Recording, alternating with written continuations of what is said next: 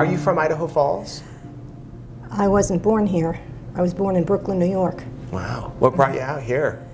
Um, several husbands. from, New, from New York to Texas to Denver. And then we came here and I said, how long do I have to stay in this podunk town? And I've been here since then. And when was that? That was in the 70s. Wow. Yeah. Do you still think it's a podunk town? No. No. I live here. They can't be. yeah, right? you made it so it wasn't yeah. podunk. I bet Idaho Falls has changed since the 70s. Oh, yeah. Yeah. And uh, I did work here for um, the phone company, and then I changed to Department of Labor, helping people write resumes that people would read, and uh, trying to get them jobs. And now I'm turning 74 in a couple of days. That's why I'm here. Well, you don't look 74, I'll tell you that. I feel it. Do you? Yeah, sometimes. well, you don't look it, so you, you have some good genes. What are some of the lessons you've learned over your life through all the moves and, and changes? I, I, I stopped worrying about what it was going to be like when I was going to move. Because usually the man goes for the job interview, and unless the wife goes, she doesn't even know what it looks like. When I first got here, I didn't know what Mormons were, and I didn't know anything about it, but I don't. I know about them now, and uh, I found that the people were very friendly. When I was at home after I was retired, there weren't that many people around. You know, I lived in an eight-unit condo, and everybody lives in their condo.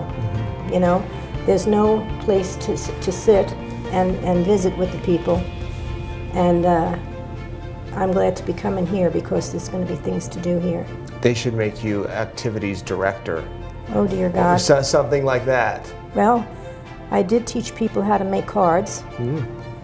And uh, and I don't think people here need resumes.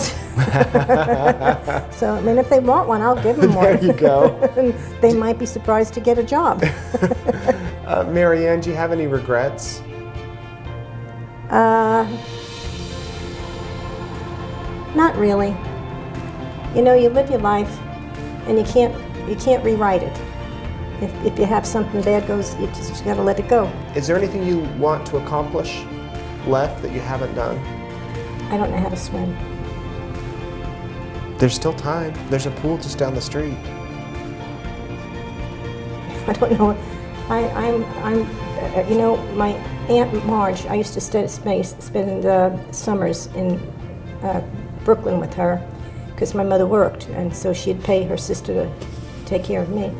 And we'd go to the beach, and my mother would say, don't let Mary Ann go into the, the, the deep end. And my aunt would say, she won't go in there. She's petrified of it.